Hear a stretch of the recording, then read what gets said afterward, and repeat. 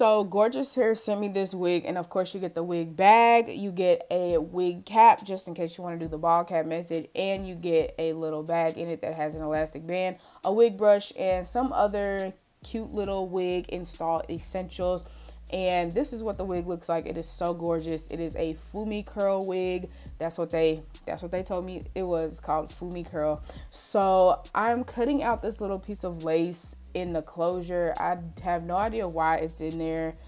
Um, I was like, uh, I gotta cut this out. So I want to kind of wear this as a wash and go. So I use my Auntie Jackie's Don't Shrink and I wet the wig down and I just I treated it like a wash and go. I actually wet the hair down already when I washed it. I washed it and I deep condition it because y'all know me. Um, I like to wash my wigs before I wear them just because I like to add my own little flair to it.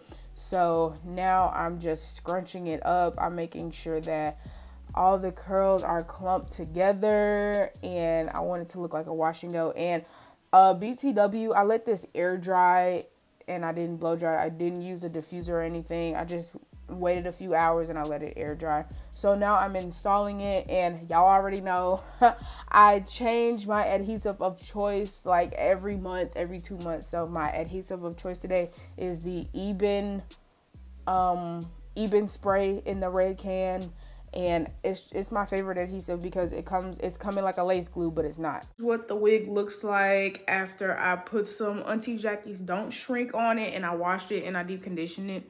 So like look at this curl pattern. Look at this curl pattern. There's an elastic band in it. So i'm assuming that i can wear it as a glueless wig but y'all know me. Stick it to my hair regardless. So this is what the parting space looks like. Like i didn't even i didn't pluck this at all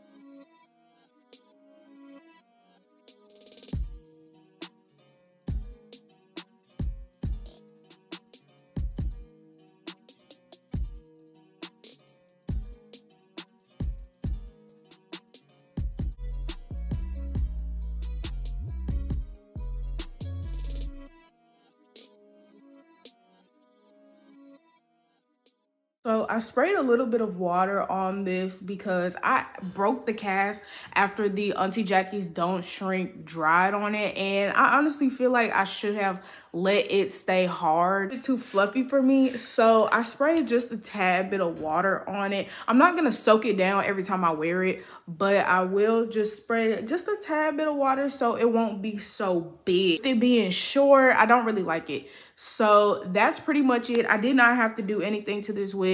Y'all see that the part is already parted. It's already plucked and the hairline is already plucked as well. Basically didn't have to do anything to it, but I just had to put a cap on, stick it to my head and go. Extra security and you want that extra melt, then I would just use some adhesive spray to hold it down. But that's pretty much it. Come to the end of this video. Make sure you like, comment, and subscribe to my channel. All my social media will be down in the description box as well as videos that I have uploaded in the past. That being said, I'll see y'all in my next video.